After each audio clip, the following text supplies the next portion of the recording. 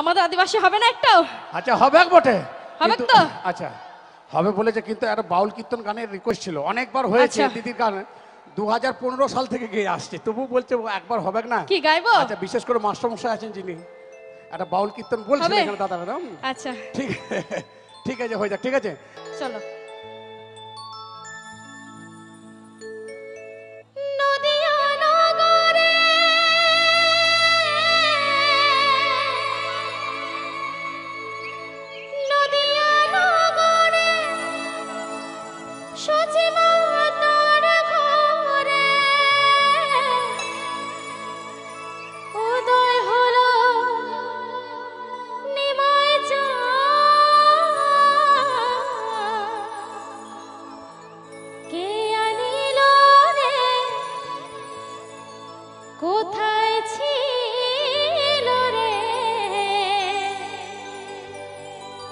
মধুমা